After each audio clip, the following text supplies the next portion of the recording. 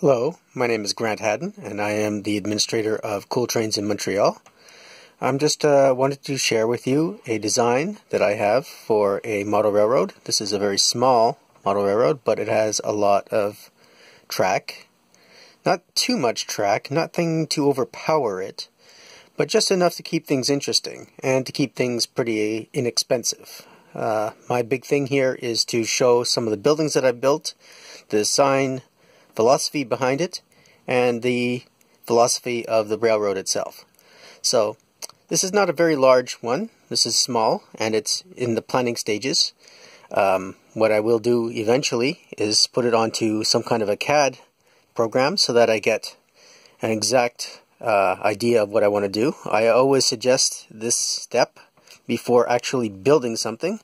However, in this case, I have actually built the buildings already.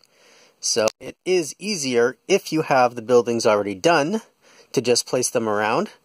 But if you haven't built anything yet and you want to build something, I would suggest getting um, a model railroad or just a CAD program in general. There's probably a lot of the free ones now. I used AutoCAD for years. AutoCAD is great because you can basically do what I just did here, except do it in digital form, where you can just take the building, or you just draw the footprint of the building by the dimensions given to you on the box of the kit, or maybe if you're scratch building or kit bashing like me, you might want to decide what you want to build first, and then just do a footprint of it, and then you make it into a block.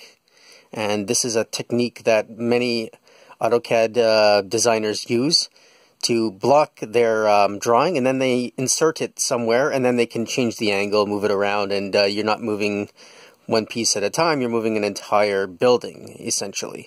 So it's doing what I just did here, except in a digital form, and I can do that eventually.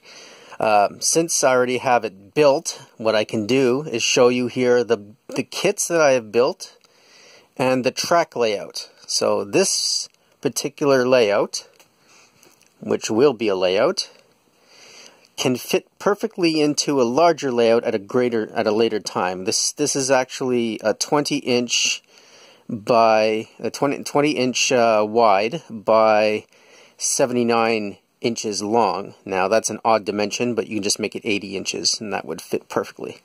So, um, and the idea here is again to get a lot of buildings in that I've built so you put them, uh, I, I want to do something with them, obviously, and I like building buildings. And I enjoy some aspects of urban planning, so this is my uh, urban planning as well. And I want to keep things inexpensive, so I'm using the track that I have. I do have to buy one, one more switch. All these other switches I had bought at some point and we're not using. So I put this track plan in mind, trying to use what I have. So everything here is going to fit properly. I've tested it as far as what you see here, so I know that my layout is feasible. The, the tracks aren't the track radiuses aren't going to be too crazy. Uh, the switches are going to work uh, in terms of the trains are going to be able to navigate them properly. And I've managed to squeeze in as many buildings as I can possibly make to make this industrial area. And personally, I like urban areas and I don't see it done enough, maybe. And I'm also cheap. I don't like making trees, so it's a good way of getting out of that. So here what I have is a quick rundown of my buildings. Now this is a Kitbash. This is a warehouse. This is a Pike Stuff um, building, warehouse.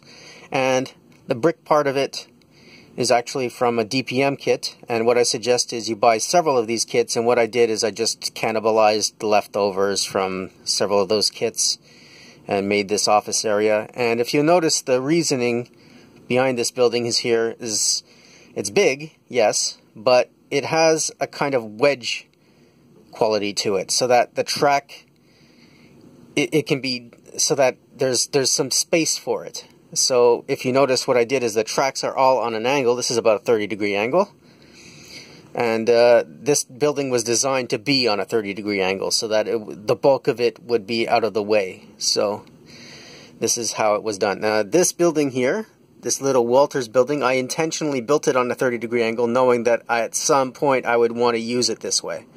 I didn't know exactly how when I built it, but I just knew it would look cool in some kind of context, and I think I found a way to do it. So this is going to be a roadway that's going between these buildings, and what I want to do with this basically is just have this as an underpass. So the road would actually go down a hill underneath these tracks and then up a hill again. And the reasoning I want to do this is because on this road, if you'll notice, there's no actual front doors of any buildings. The buildings themselves are just kind of like the back. There's only one over here that has actually a front to it.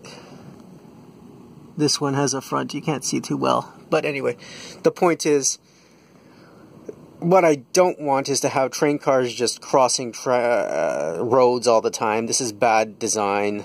You see it in urban areas where they're too cheap to build, you know, grade separation.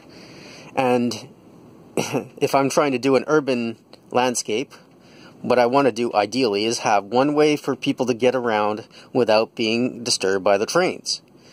So in my second road here, this one can be a level crossing. It's older, you can see that the building is more in an industrial area in terms of, you know, it's been wedged between two, uh, a grain silo and this, uh, this um, mill building.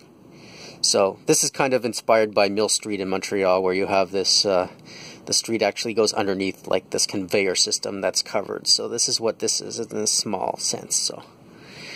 And this building is not too difficult to make actually. It's just the, the Walthers Mill building. And again, some DPM kit that I bashed up against it. And uh, these these little um, silos come from a Heljan kit and on top of this is a microengineering kind of part of a building. These things all can be bought separately, and I got them pretty cheap at the time. And when I built them, you know, I had them lying around. That's why. When you have a lot of kits, it's easy to kit build. So, and uh, here we go a little bit further. So here another DPM kit. This is two together. This will eventually be a subway building. So what I have here is two of those DPM kits that are a kind of apartment building or whatever smashed together. This is another Walthers building. It's the, uh, I forget exactly which one they call it. The furniture company, that's right. So that's the furniture company. And this here is my scratch built fire station. Uh, this is just pieces of um, probably pike stuff a Pike Stuff garage and some actually scratch built stuff, just some styrene. Anyway, it was a small little project. This is one of my first kit bashes. It's small. And uh, it's just basically a Walthers kit with um, a DPM garage at the end. Uh, further off, what I have here is the end of the tracks.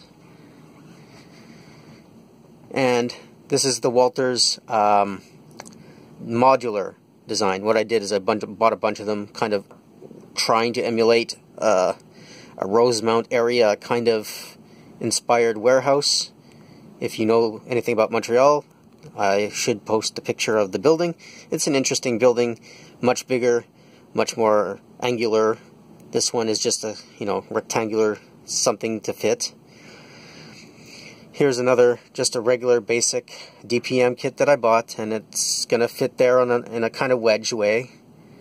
And uh, here we are, basically all of the buildings. I was able to fit in as many buildings as I could. This is the idea, to show off the buildings that I built and put them in a context that makes sense. So, and this layout is it's small, but it, like I said, it could be expanded upon very easily.